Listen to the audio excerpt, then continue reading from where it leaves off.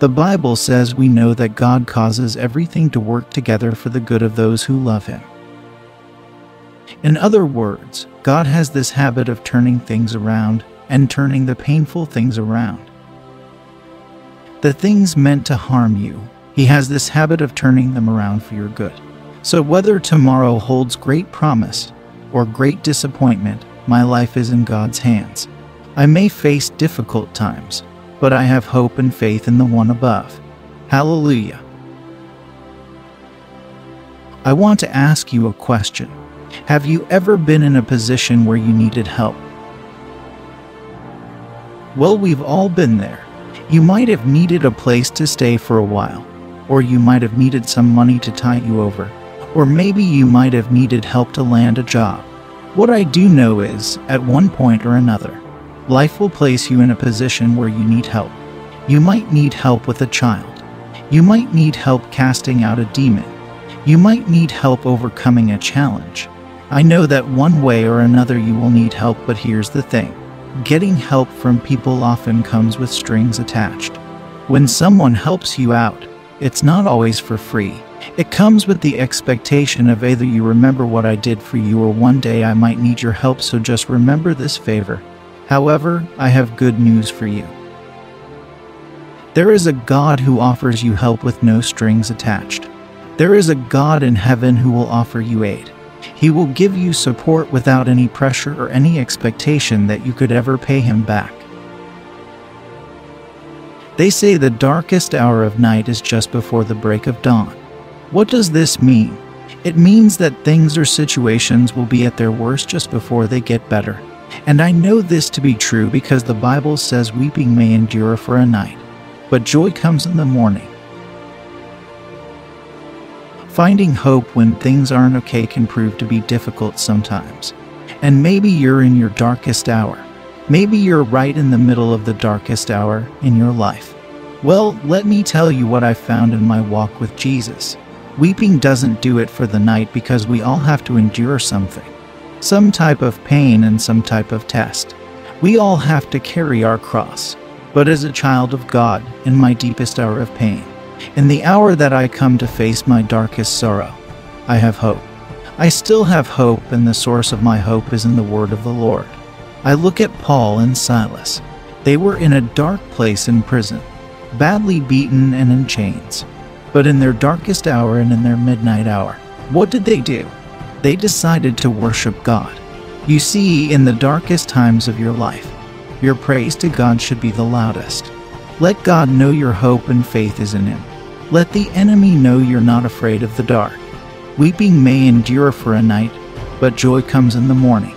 So, whatever situation you're going through, whatever challenge you're facing, be it in your marriage, in your health, or within yourself, we know that God causes everything to work together for the good of those who love Him. All throughout the Bible, there are people who have been through tough and painful situations. But those tough and painful situations all offered an opportunity for God to demonstrate that He is the ultimate healer. He is the most superior form of protection. He is the one who can restore and make a garden from a desert.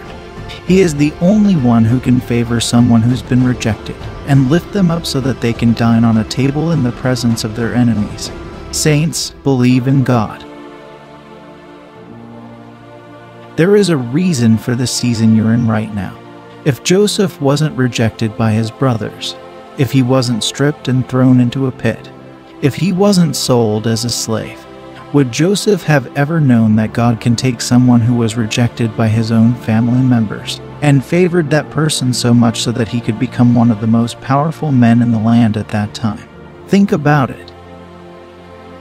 If Job had not lost everything, if he hadn't lost his sons and daughters, if he hadn't lost his ox and his donkeys, his sheep and his wealth, if he had not lost his health even then, would Job have ever known that God can restore double what the enemy stole? Think about that too. If Daniel wasn't thrown in a lion's den, would he have ever known that God's protection is far better and far superior than anything else in this world? Paul and Silas, if they were never arrested and placed in chains, tell me how could they have known that God's power can set anyone free from any type of bondage? Where's your faith? A setback is usually a setup by God for a bigger comeback. Going through pain or disappointments is often a sign that God has a better plan for you. He has a greater purpose for you even if you don't understand it. Faith is the assurance of things hoped for, the evidence of things not seen. Faith is just the thing we need when we can't see the outcome. When God seems distant, we need to have faith that He has never left our side and He never will. We hope for deliverance. We hope for safety. We hope for peace, and we can have assurance that these things will come to pass through God. So, what do you do when you're lost and hopeless? You keep the faith. When there's no end in sight, when that storm feels like it's never ending, what do you do? You keep the faith. David spoke about the help offered by God by saying in Psalm 121 I lift up my eyes to the hills, from where does my help come? My help comes from the Lord who made heaven and earth. Zephaniah 3 verse 17 says, The Lord your God is in your midst, a mighty one who will save. He will rejoice over you with gladness. He will quiet you by his love. He will exult over you with loud singing. Should you find yourself in need of help, I have a recommendation. Look to Jesus. Should you find yourself in need of reinforcements in a battle, the Lord has a host of angels at his command. Should you find yourself in need of strength or in need of comfort, Jesus Christ said in John 14, verse 26, But the Helper, the Holy Spirit, whom the Father will send in my name, he will teach you all things and bring to your remembrance all that I have said to you. Now, if you've ever read Psalm 121 in its entirety, you'll notice that as the chapter ends, in verses 7 and 8, the word preserve is used repeatedly. The Bible reads, The Lord shall preserve you from all evil. He shall preserve your soul. The Lord shall preserve your going out and your coming in.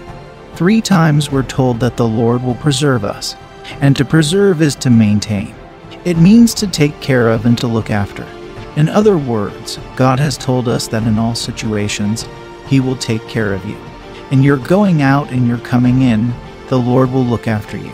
So remember this, saints, when you find yourself in need of any help, look to Jesus.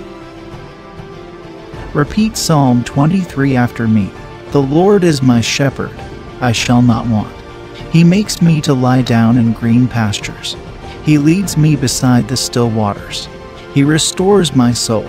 He leads me in the paths of righteousness, for his name's sake. Yea, though I walk through the valley of the shadow of death, I will fear no evil. For thou art with me. Thy rod and thy staff they comfort me. Thou prepares a table before me in the presence of mine enemies. Thou anoints my head with oil. My cup runs over.